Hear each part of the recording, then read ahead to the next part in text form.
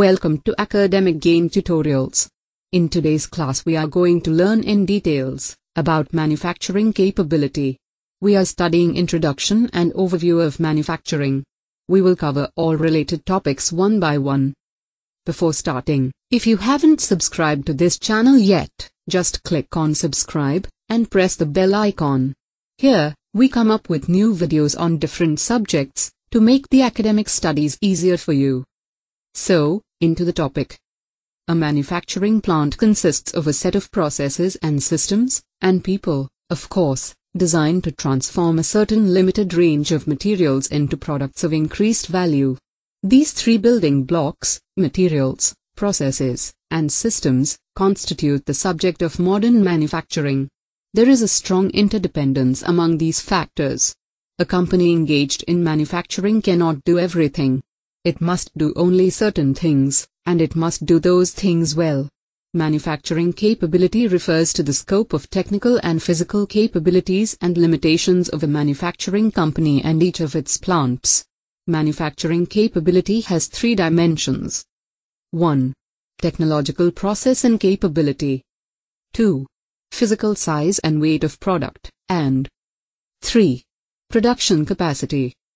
Technological process and capability. The technological processing capability of a plant, or company, is its available set of manufacturing processes.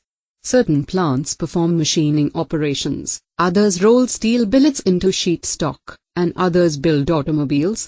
A machine shop cannot roll steel, and a rolling mill cannot build cars. The underlying feature that distinguishes these plants is the processes they can perform. Technological processing capability is closely related to material type. Certain manufacturing processes are suited to certain materials, whereas other processes are suited to other materials. By specializing in a certain process or group of processes, the plant is simultaneously specializing in certain material types. Technological processing capability includes not only the physical processes, but also the expertise possessed by plant personnel in these processing technologies. Companies must concentrate on the design and manufacture of products that are compatible with their technological processing capability. Physical product limitations. A second aspect of manufacturing capability is imposed by the physical product. A plant with a given set of processes is limited in terms of the size and weight of the products that can be accommodated. Large, heavy products are difficult to move. To move these products about, the plant must be equipped with cranes of the required load capacity. Smaller parts and products made in large quantities can be moved by conveyor or other means. The limitation on product size and weight extends to the physical capacity of the manufacturing equipment as well. Production machines come in different sizes. Larger machines must be used to process larger parts. The production and material handling equipment must be planned for products that lie within a certain size and weight range. Production capacity. A third limitation on a plant's manufacturing capability is the production quantity that can be produced in a given time period, let's take a month or year. This quantity limitation is commonly called plant capacity, or production capacity, defined as the maximum rate of production that a plant can achieve under assumed operating conditions.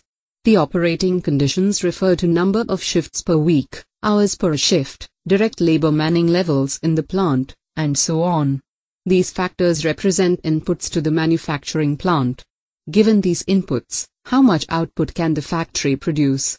Plant capacity is usually measured in terms of output units, such as annual tons of steel produced by a steel mill, or number of cars produced by a final assembly plant. In these cases, the outputs are homogeneous. In cases in which the output units are not homogeneous, other factors may be more appropriate measures, such as available labor hours of productive capacity in a machine shop that produces a variety of parts. Materials, processes, and systems are the basic building blocks of manufacturing and the three broad subject areas of our discussion in manufacturing processes. So, we have studied in details about manufacturing capability. Thank you.